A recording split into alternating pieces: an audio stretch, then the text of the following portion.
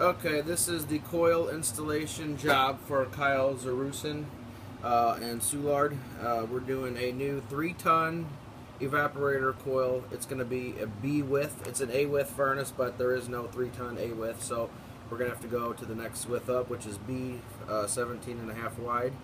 Uh, we're going to put in a cased coil.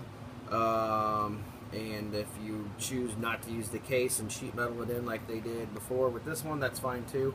Um, whatever. Uh, if you want to raise it up or something, you know, and kind of because there's plenty of room. If you wanted to center the coil over the furnace for better, more even airflow, uh, that wouldn't be a bad idea. And then build up, you know, like a, um, at the bottom here, you know, come out a little bit on each side and build it, go out and then straight up, you know. But whatever.